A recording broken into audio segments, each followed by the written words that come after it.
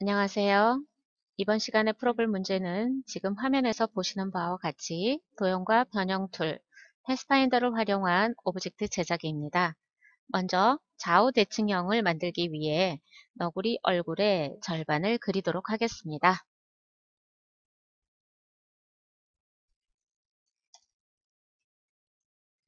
화면과 같이 안내선을 표시하고 너구리의 왼쪽 얼굴 형태를 pen tool로 그림과 같이 그려놓습니다.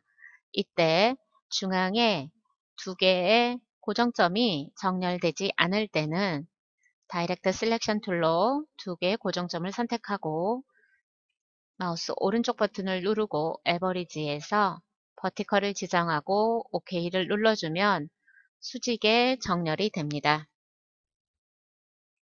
그리고 귀의 형태를 계속해서 그려 넣습니다. 자, 눈 부분을 그려 놓을 텐데요.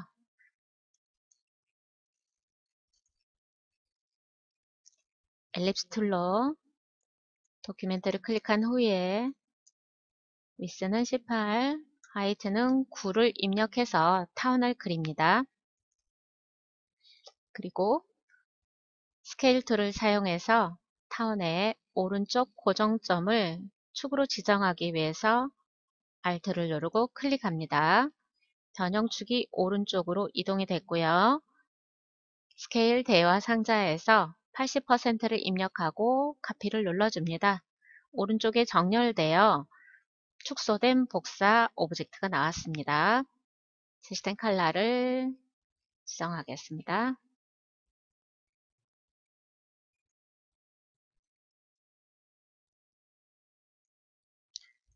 selection tool로 두 개의 object를 선택하고 rotate tool을 더블 클릭한 후에 35도를 지정해서 회전합니다. 그리고 너구리의 눈 위치에다가 배치를 하겠습니다. 작은 타원은 선택한 후에 아래로 약간 이동해서 배치합니다. 계속해서 ellipse tool을 사용해서 눈을 그리겠습니다.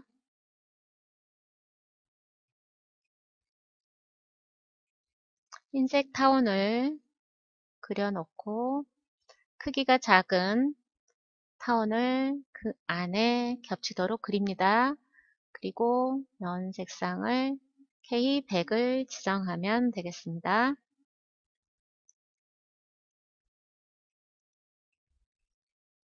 그런 다음에 전체 선택을 하고 Reflect Tool을 사용해서 좌우 대칭 형태를 만들겠습니다. 클릭하여 축을 지정한 다음에 Alt와 Shift를 눌러서 그림과 같이 대칭형 object를 만듭니다. Ctrl Y를 누르고 두 개 object가 중간에 충분히 겹쳤나 확인을 합니다. 그렇지 않으면 Pathfinder의 Unite로 합치는 과정에서 틈이 생길 수 있습니다. Pathfinder를 클릭해서 두 개 object를 합칩니다. 그리고 맨 뒤로 보내기를 해서 정돈을 합니다.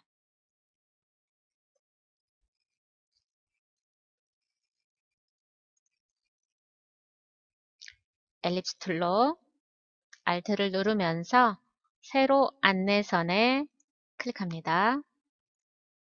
대화 상자에 22, 14mm를 순서대로 입력하고 타원을 그려 제시된 칼라로 배치를 하겠습니다. Y30을 명칼라로 지정을 하고 테두리 없음을 지정합니다. 이 상태에서 Scale Tool을 더블 클릭합니다. Non-Uniform에 클릭한 후에 Horizontal은 50, Vertical은 100을 해서 너비만 축소된 타원을 카피를 하겠습니다.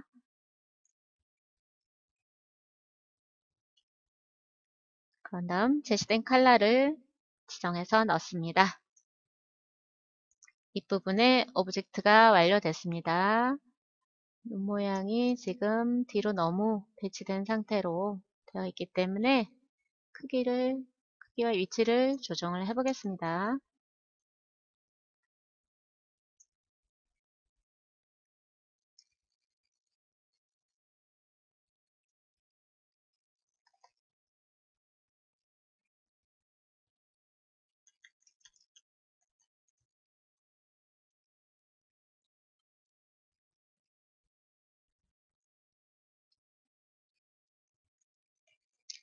Ellipse Tool로 Alt를 누르면서 타원을 그려 코의 형태를 그리겠습니다. Alt를 누르고 드래그해서 중앙에 타원을 그립니다. 계속해서 동일한 방법으로 입을 만들기 위해서 입 모양을 만들기 위해서 타원을 Alt를 누르면서 그려줍니다. 면 없음 선은 K100 두께는 웨이트 1pt를 스트록 패널에서 지정합니다.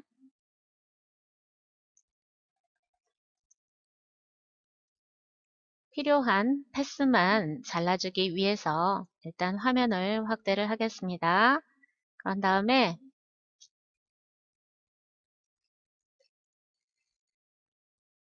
선분을 클릭해줄 Scissors Tool을 선택합니다. 그리고 남겨줄 path를 지정하기 위해서 양쪽 선분 위를 각각 클릭합니다. 그리고 위쪽 불필요한 path를 선택한 후에 Delete를 눌러 삭제를 해주면 되겠습니다. 크기가 맞지 않으면 나중에라도 조절점을 이용해서 조절을 해주면 되겠습니다.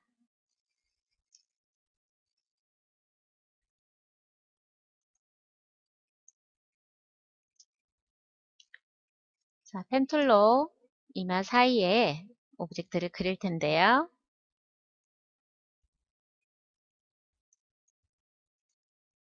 Pen Tool을 사용해서 V자 형태로 열린 패스를 그리겠습니다. 스트로크를 지정하고요. 면 없음, 테두리는 M10, Y70을 지정합니다. 그리고 스트로크의 두께는 12pt를 적용하고 끝모양과 모퉁이의 바깥쪽을 둥그렇게 지정하는 Round Cap과 Round, Round Join을 클릭합니다. 그런 다음 선의 두께를 면으로 확장하는 Outline Stroke를 지정하고 Direct Selection Tool을 이용해서 중간에 점을 선택한 후에 키보드의 방향키를 이용해서 위로 이동해서 path를 수정해 줍니다. 자, 이제 몸통과 꼬리 모양을 만들 텐데요. 앨리스틀로 지름이 9mm인 정원을 그립니다. 색상을 유니 색상을 지정해 봅니다. 자, 그리고 컨트롤 C를 눌러 미리 복사를 해 놓겠습니다. 나중에 손 모양 끝에 점선을 적용하기 위함입니다. 계속해서 Pen Tool로 팔 모양을 그립니다. 완성된 형태를 참고로 해서 그리도록 하겠습니다.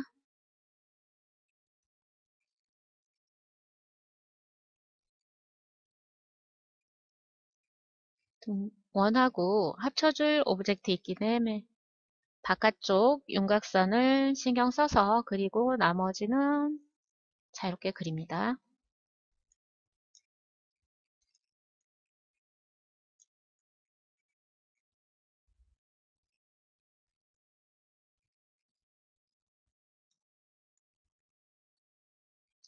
닫힌 패스를 그린 후에 두 개의 오브젝트를 한 번에 선택하고 Pathfinder에 Unite를 클릭해서 합쳐줍니다. 그리고 제시된 컬러를 지정해서 넣어주면 되겠습니다. 복사한 object를 Ctrl F를 눌러서 복사한 object 앞에 붙여넣기를 합니다.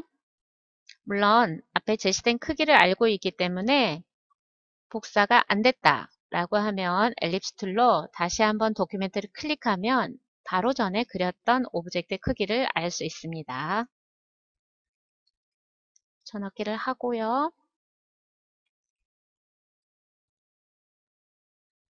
하단에 고정점을 선택한 후에 Delete를 눌러 이렇게 open path를 만듭니다. 그리고 면 색상은 없음을 지정하고 테두리는 K100을 지정한 상태에서 Dashed Line의 Stroke 패널에서 체크를 하고요. dash 2pt를 적용해서 그림과 같이 손 모양 끝에 배치를 하겠습니다. 자, 이제 몸통의 형태를 그릴 텐데요.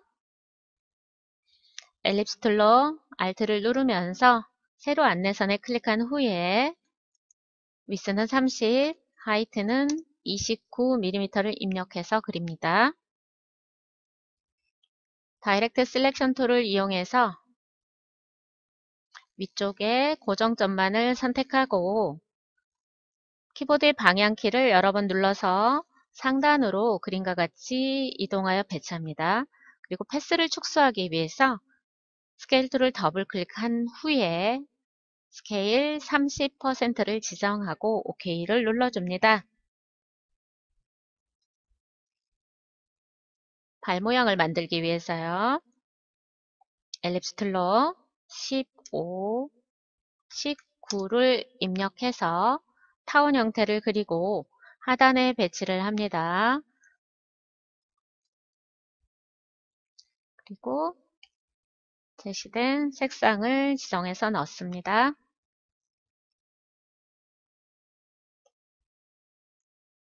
계속해서 Scale Tool로 Alt를 누르면서 타원의 하단 고정점에 클릭하고 75%를 입력해서 축소 복사하고 색상을 바꿔줍니다.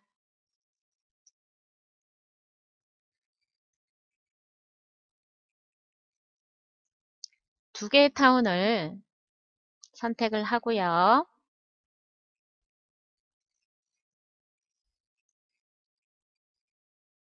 회전을 하겠습니다. Rotate Tool을 더블 클릭합니다. 35도를 입력해서 회전합니다. 그리고 축소된 타원 형태를 선택한 후에 왼쪽으로 약간 이동해서 배치를 하겠습니다.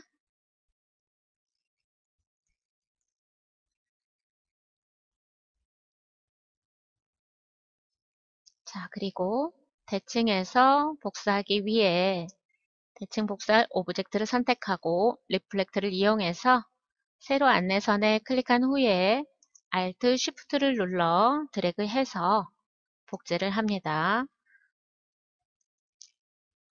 자, 이 과정에서 맨 뒤로 갈 오브젝트들을 선택하고 뒤로 보내기를 해서 일단 배치하도록 하겠습니다.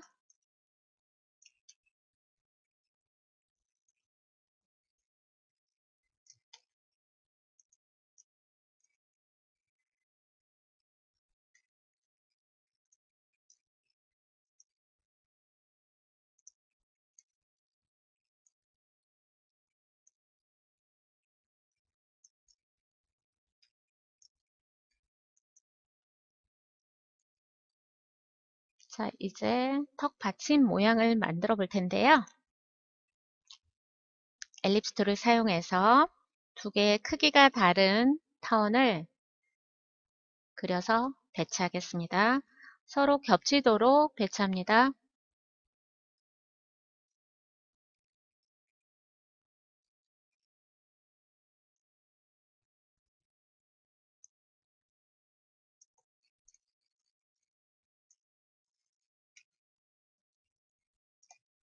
온라인에서 중앙에 정렬을 맞춰주고요.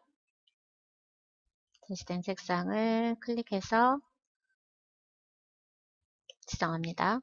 그런 다음 패스파인더에 유나이트를 클릭해서 합쳐줍니다. 축소된 복사본을 만들기 위해서 옵셋 패스를 지정하고 마이너스 1.3mm를 지정해서 복사본을 만듭니다.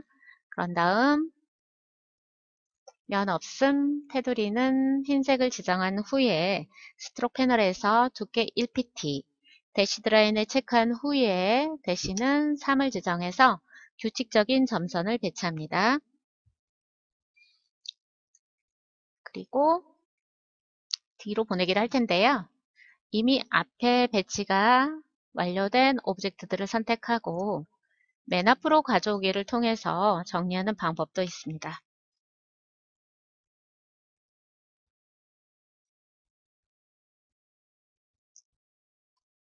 자, 이제 꼬리 모양을 만들 텐데요. Ellipse Tool로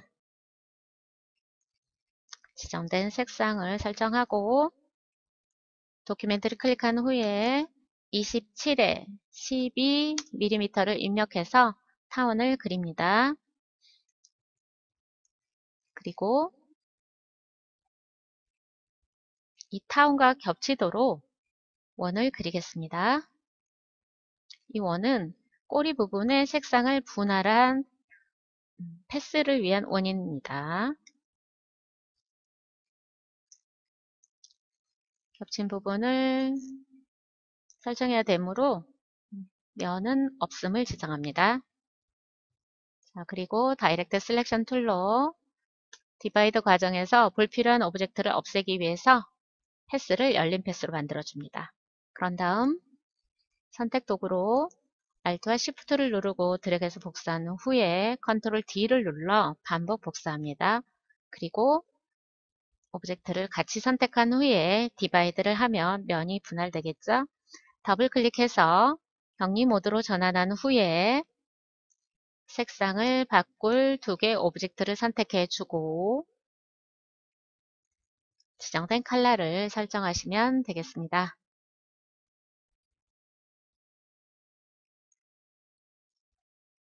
ESC를 누르고 정상 모드로 전환한 후에 꼬리 모양 object를 선택한 후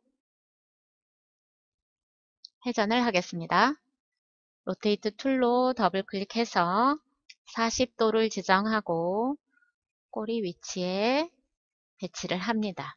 그리고 맨 뒤로 보내기를 하면 너구리 모양의 인형은 완성이 됐습니다. 이제 장난감 모양을 만들어 볼 텐데요.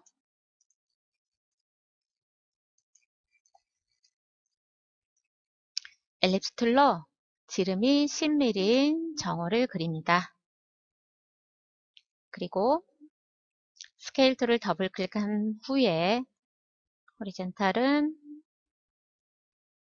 90, Vertical은 30을 입력해서 타원 형태로 카피를 하겠습니다. 그리고 제시된 색상을 지정하고 그림과 같이 하단으로 이동해서 배치를 하겠습니다. 스타트를 선택하고 흰색을 면으로 지정한 후에 그림과 같이 크기가 다른 별을 그립니다. 내부에 그려주고요. 중앙을 맞추겠습니다. 그리고 더 작은 별을 옆에다 그립니다. 이때 들어갈 때 Shift를 눌러서 반듯하게 세워진 상태로 그리면 되겠습니다. 반대쪽에도 별을 그릴 텐데요. 물론 좌우 대칭을 원하시면 Reflect를 사용해서 작업하시면 되겠죠. 작은 별의 형태를 위쪽에도 복사해서 배치하시면 되겠습니다. 이제 손잡이 부분을 그릴 텐데요. Line Segment Tool로 수직선을 그리겠습니다.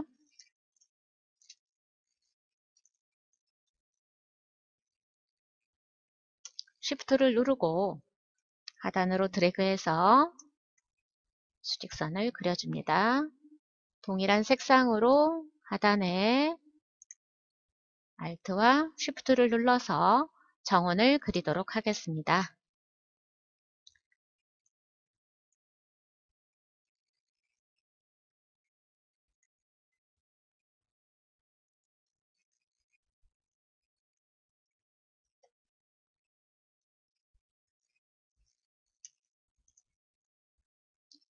그리고 같이 선택한 후에 중앙을 맞춰주고요. Path에 Outline Stroke로 면으로 변환을 해줍니다. 그런 다음 Unite로 합치고 테두리 색상은 K100을 지정하고 Stroke의 두께는 1pt를 적용합니다. 그리고 맨 뒤로 보내기를 합니다. 그리고 장난감 모양을 같이 선택한 후에 Control G를 눌러서 소그룹으로 설정을 한 후에 rotate tool을 더블 클릭한 후 25도를 지정하고 레이아웃에 맞게 그림처럼 배치한 후에 완성하시면 되겠습니다. 완료한 후에 안내서는 가리고 전체 보기를 한 후에 다시 한번 저장해 주십시오.